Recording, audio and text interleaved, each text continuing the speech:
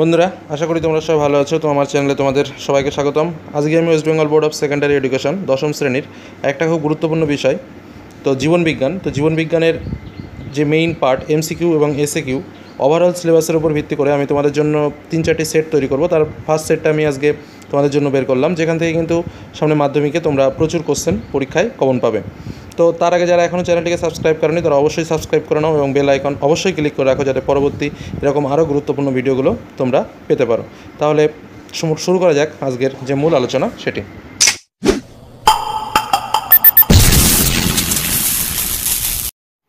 বন্ধুরা, তাহলে শুরু করছি আজকের মূল আলোচনা, যেটা হচ্ছে যে মাধ্যমিক জীবন বিজ্ঞানের জন্য আমি তোমাদের জন্য বেস্ট চারটি সেট তৈরি করব। তার মধ্যে ফার্স্ট সেটটা আমি এখন তোমাদের সামনে তুলে ধরছি। তো এটার মধ্যে পঞ্চাশটা শর্ট কোশ্চেন আছে এবং আমি আরও কিছু বেস্ট শর্ট কোশ্চেন দিয়ে দেবো, যেখান থেকে কিন্তু তোমরা মাধ্যমিকে প্রশ্ন পাবে এবং খুব ইম্পর্ট্যান্ট তো তোমরা প্রয়োজনে স্ক্রিনশট করে নিতে পারো বা ধীরে ধীরে এটাকে নোটস করে তোমরা পড়ে ফেলতে পারো। তাহলে দেখা যাক মূল যে ইম্পর্ট্যান্ট কোশ্চেনগুলো রয়েছে সেগুলো কী কী। প্রথম দেখো, বাতাস থেকে অক্সিজেন গ্রহণ করার উদ্দেশ্যে সুন্দরী গাছের শ্বাসমূল মাটির উপরে উঠে আসে। এই চলনকে প্রতিকূল অভিকর্ষ বৃত্তীয় চলন বলে। পরেরটা দেখো, মধুমেহ রোগে আক্রান্ত ব্যক্তির দেহে ইনসুলিন হরমোনটি কম খরিত হয়। এখান থেকে কিন্তু কোন রোগে খরিত হয় বা মধুমেহ রোগে আক্রান্ত ব্যক্তির দেহ থেকে কোন হরমোন কম খরিত হয় যে কোনোভাবে প্রশ্নটা আসতে পারে। পরেরটা দেখো, চিন্তা, স্মৃতি, বুদ্ধি ইত্যাদি মানসিক বোধ নিয়ন্ত্রণের সঙ্গে যুক্ত মানব মস্তিষ্কের যে অংশটি, সেটা হলো হাইপোথ্যালামাল তো এই অংশটা কিন্তু এই যে ক্ষেত্রগুলো বললাম আমি, চিন্তা, স্মৃতি, বুদ্ধি ইত্যাদি মানসিক বোধ নিয়ন্ত্রণে কাজ করে। সেটা কোনটা? মস্তিষ্কের যে অংশটা, সেটা হলো হাইপোথ্যালামাল মাইটোসিস কোষ বিভাজনের মেটাফেজ দশায় ক্রোমোজোম গণনা করা সম্ভব হয়। একমাত্র একটাই, যেটা হলো মাইটোসিস কোষ বিভাজনের মেটাফেজ দশায় ক্রোমোজোম গণনা করা সম্ভব হয়। পরেরটা দেখো, কচুরিপানার কচুরিপানায় যে পরিবর্তিত অর্ধবায়বীয় কাণ্ডের মাধ্যমে অঙ্গজনন ঘটে, তার নাম হলো অফসেট। তার নাম কি বললাম? অফসেট। উটের অতিরিক্ত জলক্ষয় সহনের ক্ষমতার কারণটি হলো কি? এদের আরবিসি ডিম্বাশয় রয়েছে। পরটা দেখো, বায়ুমণ্ডলের গ্যাসীয় নাইট্রোজেন মৃত্তিকায় যৌগরূপে আবদ্ধকরণ অংশগ্রহণকারী যে স্বাধীনজীবী ব্যাকটেরিয়া, তা হলো কি? ক্লস্ট্রিডিয়াম এবার দেখো, ডিমে তা দেওয়ার সময় মৎস্যভুক পাখিদের ডিমের খোলক ভেঙে যায়। এর কারণটি কি? এর কারণটি হলো বায়ো ম্যাগনিফিকেশান বায়ো ম্যাগনিফিকেশানের কারণেই কিন্তু ডিমে তা দেওয়ার সময় মৎস্যভুক পাখিদের ডিমের খোলকটা ভেঙে যায়। যাই হোক, পরের যে প্রশ্ন রয়েছে সেটা দেখো। বলছে, আমাদের দেশে যে মৌরলা, খোলসে তেচোখা যে মাছের বিপন্নতার কারণ সে কারণটি কি? মূল কারণ হলো বহিরাগত প্রজাতির অনুপ্রবেশ। অক্ষিগোলকের পশ্চাৎভাগে পাঁচ বাই ছয় অংশে অবস্থিত তন্তুময় যে বহিয়ার আবরণটা রয়েছে, তার নাম হলো স্ক্লেরা। মনে রাখবে অক্ষিগোলকের পশ্চাৎভাগে বা পেছন দিকে। ইউক্যারিওটিক ক্রোমোজোমের উপাদানগুলি হলো ডিএনএ, আরএনএ এবং প্রোটিন।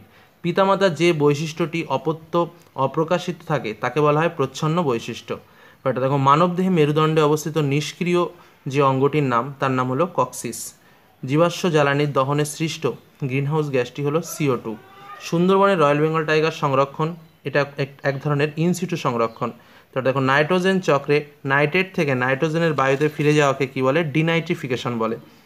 আচ্ছা মস্তিষ্কের হাইপোথ্যালামাস মানসিক আবেগ নিয়ন্ত্রণে সাহায্য করে। এটা একটু জাস্ট একটু আগে আমি বললাম, সেটাকে একটু অন্যভাবে বললাম।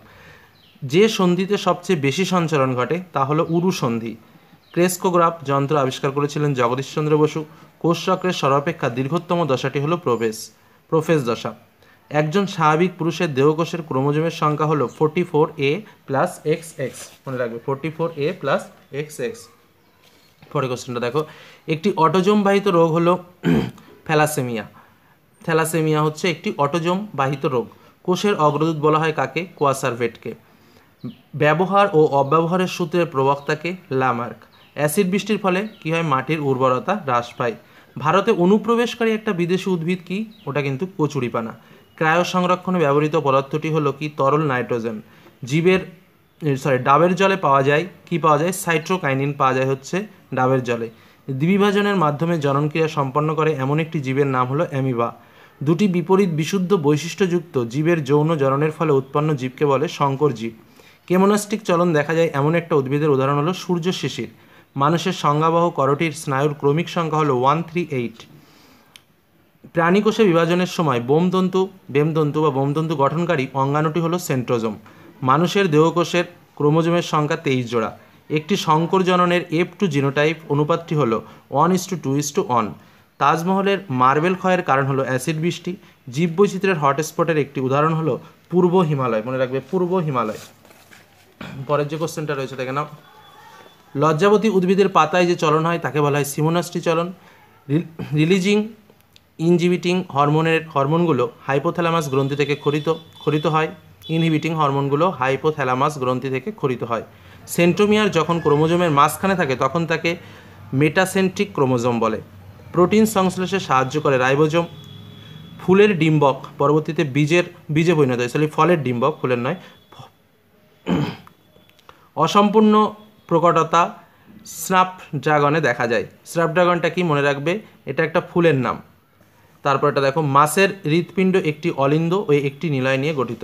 পায়রার ফুসফুসে নটি বায়ুথলি থাকে। এডিএইচ এর অপর নাম হলো ভ্যাসোপ্রেসিন।